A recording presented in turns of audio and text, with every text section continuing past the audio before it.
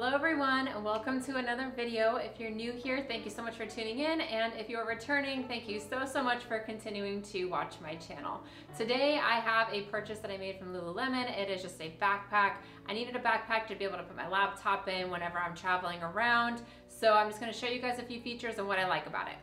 All right, here we are. This is the Lululemon Everyday Backpack 2.0 it's a 23 liter. Uh, it does retail for $98 and I got it in the color, well, black. What I like about this bag is that it is a decent size. It's not too big, not too small. It does have three main compartments. You have this one up top that it's actually pretty deep. I can fit basically my whole arm in up to my, just past my elbow. So there's a lot of room in this pocket here. We go to the next pocket. As you can see, this is also fairly large in here. So in the second compartment, you do have this mesh right here. There is a mesh on each side, fairly decent. I can fit, you know, my whole hand in here.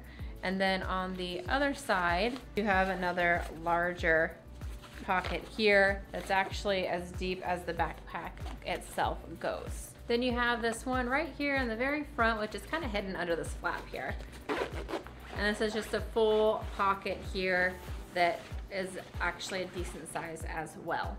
Then on each side of the backpack, you do have a place to put your water bottle or your phone or whatever else you want to slip in here. Then on the back side, you do have a luggage strap, which is actually really nice for traveling to be able to just throw it on your suitcase and wheel it around instead of having to wear it on your back the entire time. And I'll show you the zippers here as well. So they are YKK, pretty durable zippers. I mean, this zips up really good. Nice, big, thick zipper. Uh, this back pocket here up against the back just has the one zipper. The secondary pocket does have a, two zippers, so you can either zip it all the way up to the middle or you can just have it on either side. And then this bottom pocket here just has the one zipper. So like I was saying, the main reason I purchased this was to be able to bring my laptop around. Uh, this is a 16 inch MacBook Pro, so it has a decent amount of weight to it. It's kind of thick, a little large. So I can slip it in this back pocket and as you can see, it does fit in here fairly well. You can zip that up, not a problem. If you don't wanna just have it up against your back, if it's a little stiff for you, you can also fit it in the second pocket and you still have a lot of room in here so that's not an issue either.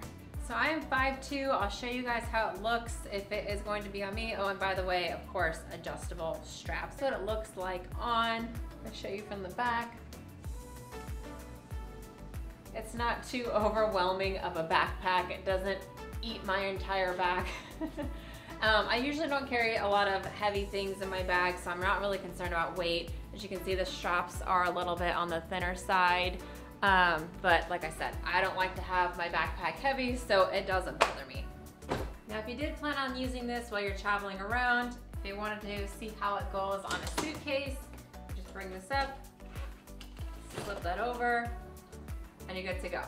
All right guys, well that is it for this video. I hope if you're looking for this backpack, I was able to answer all of your questions. Please make sure to like, comment, subscribe, and I will see you in the next video.